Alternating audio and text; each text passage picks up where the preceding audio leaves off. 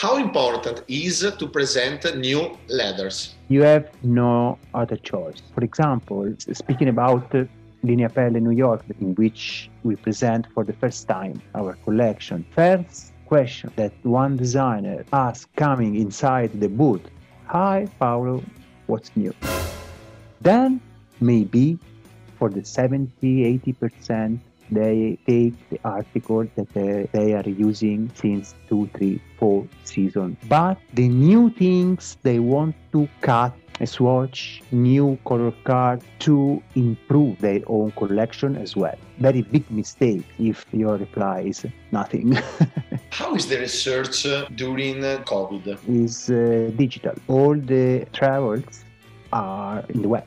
In the webinar, all of us we are learning this way of work. Is it better to follow the seasonality or uh, not? Depends on your customer. If you are mainly focused, uh, for example, in the US market, it's better to follow season and presenting the collection season by season uh, twice uh, a year. The time is uh, too short to present article continuously. On the other hand, if your business is mainly focused with luxury brand, you develop together with them. So make continuously new things. So there is not only one way. How do you approach the issue of sustainability? Following two organizations, Leather Working Group for what it concerns both sustainability and ECHA, that is the European Organization for Chemical Substances.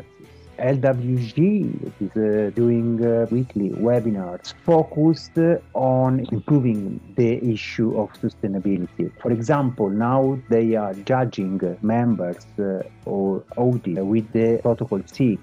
Uh, meanwhile, they are now presenting all the judgment way and rules with the Protocol 7 that will be active from the 22nd of August. So, following the protocol of LWG is a kind of making the step into sustainability. It's not something that you can create by yourself. For what concerns the customer care in terms of danger substances for the health, uh, we follow the ECHA protocol. In this period, mostly taking care about Chrome 6 to understand why it's uh, auto-producing or uh, Another way now is uh, to focus on uh, bisphenol that can influence the fertility of women, and uh, that ECHA is uh, thinking put uh, avoid uh, substances by the end of 2024.